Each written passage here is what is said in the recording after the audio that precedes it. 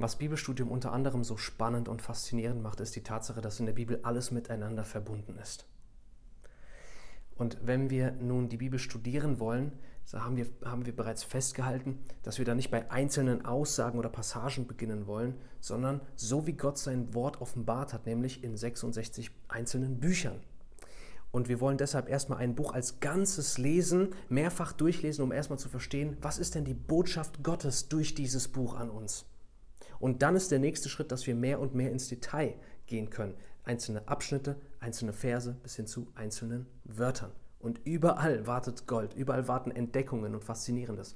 Ich möchte kurz jetzt einen äh, Exkurs hier einbringen, dass das zwar super und richtig ist, die Bücher der Bibel als Ganzes zu studieren, aber dass es auch hilfreich ist, und diese Fähigkeit, je besser wir die Bibel kennen, auch mit der Zeit zunimmt, dass es ein großer Gewinn ist, auch andere Bücher ins Studium von beispielsweise dem Epheserbrief mit einzubeziehen.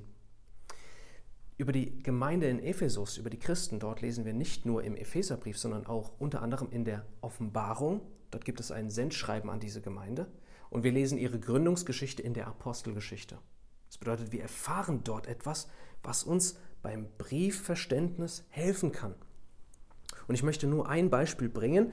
Da lesen wir in Apostelgeschichte 19 davon, dass Paulus, nachdem er in Korinth gewesen ist, das sehen wir in Vers 1, kommt er nun in die Gegend äh, von Ephesus. Ephesus war eine große römische Handelsstadt und äh, umso weniger verwundert es uns, was er dort dann tat.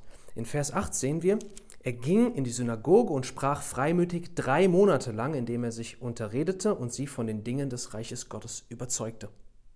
Und jetzt passiert das, was schon so oft passiert ist, als aber einige sich verhärteten und nicht glaubten und vor der Menge schlecht redeten von dem Weg, der Weg ist das Christentum, trennte Paulus sich von ihnen und sonderte die Jünger ab, indem er sich täglich in der Schule des Tyrannus mit ihnen unterredete.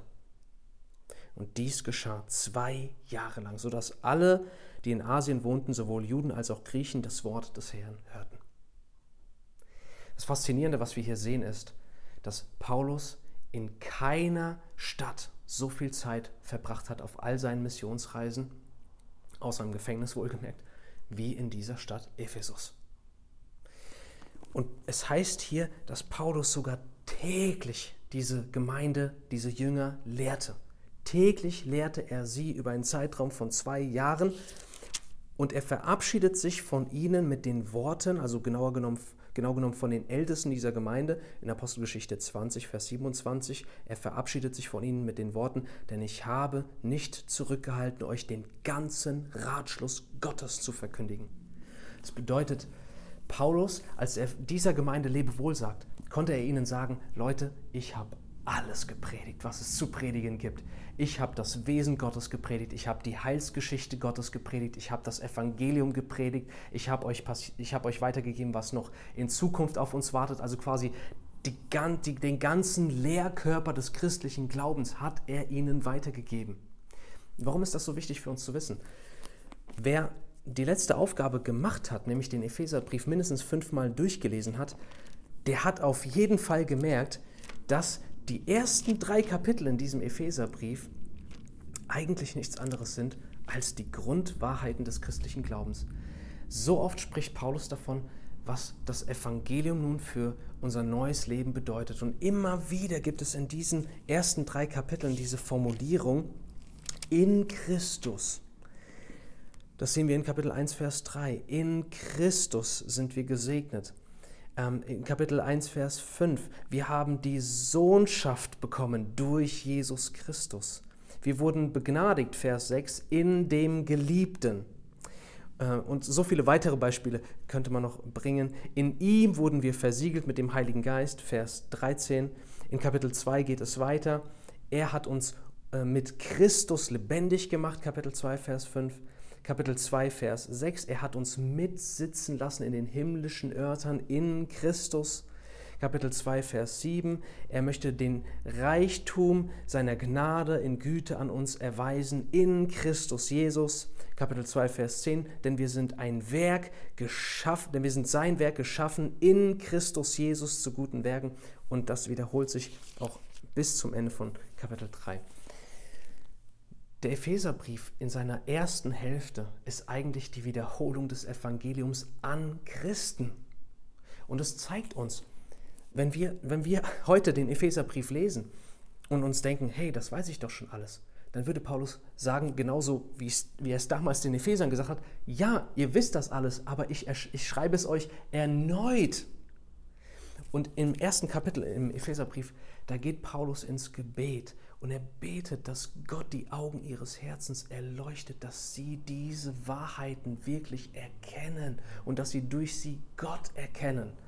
Das bedeutet, wir können daraus einfach diese Erkenntnis ziehen, dass es kein Unfall ist, wenn wir den Epheserbrief als Christen studieren, dass wir die Hälfte dieses Briefes nur damit beschäftigt sind, das Evangelium und dessen Auswirkungen uns erneut vor Augen zu halten.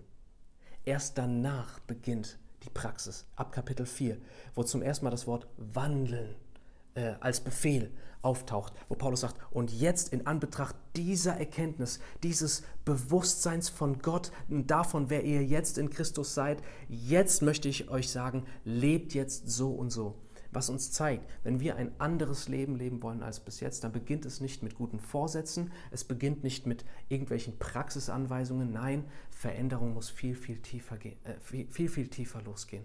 Wahre Veränderung beginnt immer in unserem inneren Menschen, an unserem Denken, Fühlen und an unserem Willen. Da muss Veränderung stattfinden. Und da ist der Schlüssel das Evangelium. Und wir brauchen als Christen das Evangelium. Wir brauchen es bewusst vor Augen zu haben, wer Gott in Christus für uns ist. Und deswegen sollten wir auch mit diesem Bewusstsein die ersten drei Kapitel studieren denn das ist die Vorbereitung für die Praxis, die anschließend folgt. Und ich hoffe, dass jeder das gesehen hat, dass, dieser, dass der Epheserbrief diese klare Zweiteilung hat, denn in den ersten drei Kapiteln, da lesen wir von keinem Befehl, kein, einz, keine, kein, äh, kein einziges Gebot, keine einzige Anweisung für das praktische Leben wird uns da erteilt, sondern nur das vor Augen gehalten bekommen dessen, was Christus für uns getan hat und letztendlich der dreieinige Gott, der Vater, der Sohn und der Heilige Geist. Und dann im, ab Kapitel 4 lesen wir immer wieder dieses Wort, wandelt nun, wandelt, wandelt, wandelt. Das heißt, lebt jetzt auf die und die Art und Weise. Und da kommen diese ganzen praktischen Themen äh, zu Sprache, unsere Worte, wie wir Einheit haben können, unser Familienleben, unser Eheleben und all diese Wahrheiten, das beginnt erst ab Kapitel 4. Ich möchte gerne, dass jeder, der den Epheserbrief jetzt mehrmals durchgelesen hat, das gleiche nochmals tut. Ich kann versprechen, dass wer hier mitzieht und letztendlich den Epheserbrief 10 bis 15 Mal durchliest, dass da Erkenntnisse in uns ähm, wirklich Wurzeln schlagen, die wir nicht mehr verlieren werden, weil je öfter wir uns etwas anschauen, desto tiefer prägt es sich in uns ein.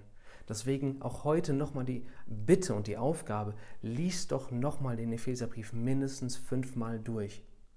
Und, und fang an, äh, darüber nachzudenken, was der Verlauf dieses Briefes ist, welche Dinge sich wiederholen, welche Dinge betont werden. Und mach dir gerne erste Notizen darüber, was dir ins Auge fällt. Und natürlich, wenn du bei einzelnen Stellen stehen bleibst, die dich einfach packen, dann, dann bleib da stehen und nimm dir Zeit, darüber nachzusinnen. Nur wollen wir heute noch nicht weiter ins Detail gehen, sondern erstmal eine gute Grundlage für uns schaffen, um äh, anschließend ins Detail gehen zu können und so auch ein rechtes Verständnis der einzelnen Passagen und Aussagen zu bekommen.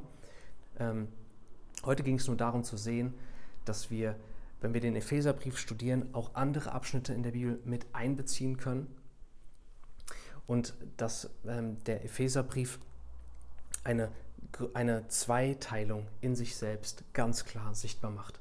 Den ersten Teil, wo es wirklich um das Evangelium und seine Auswirkungen geht, und der zweite Teil, wo es, unser, wo es um unser praktisches Leben geht. Wir als Christen brauchen das Evangelium vor Augen zu haben. Und deshalb, wenn wir den Brief jetzt nochmal und nochmal lesen, lass diese Wahrheiten, die du schon weißt, lass sie dir wirklich neu mitteilen. Und genauso wie Paulus das gemacht hat, lasst uns auch wirklich im Geist des Gebets diese Wahrheiten lesen, indem wir auf die Knie gehen und sagen, Herr, erleuchte doch meine Augen für diese Wahrheiten, die ich eigentlich schon kenne, dass sie in mir lebendig werden. und dass ich sie wirklich so erkenne, dass es mir vor Augen steht, denn daraus folgt die Grundlage für alles Praktische, was danach kommt.